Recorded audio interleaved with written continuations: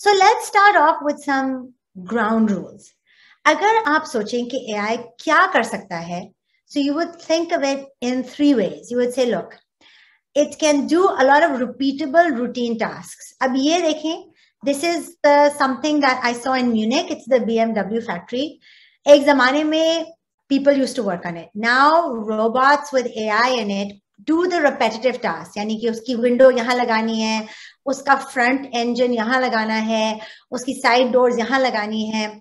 And so anything that you can think that can be repeated again and again is something that artificial intelligence can do another thing is कि अगर आप पाकिस्तान को भी देखें that two hundred twenty million people उनमें से आप दो मिलियन भी ले लें। एंड यू लाइक अब मैं, ये मेरी कंपनी है, मैं चाहती हूँ एक दिन 2 million people will be getting their groceries delivered from me and then you think how will I be able to understand what Aisha likes versus what Janara likes versus what Sabika likes?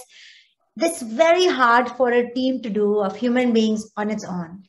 But artificial intelligence can look at 2 million people and 10 features, 10 uh, aspects of their life and very quickly analyze it. So it helps you create better products for your company. And last of all, it does more than that. It, it's intelligent because it learns from the data. It not only gives you a snapshot, but it also says आगे क्या होगा. So it can do predictive analytics.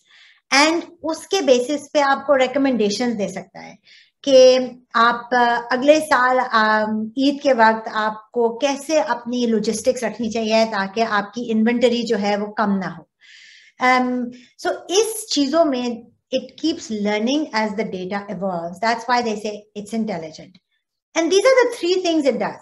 These are the simple three categories in which data and artificial intelligence mine.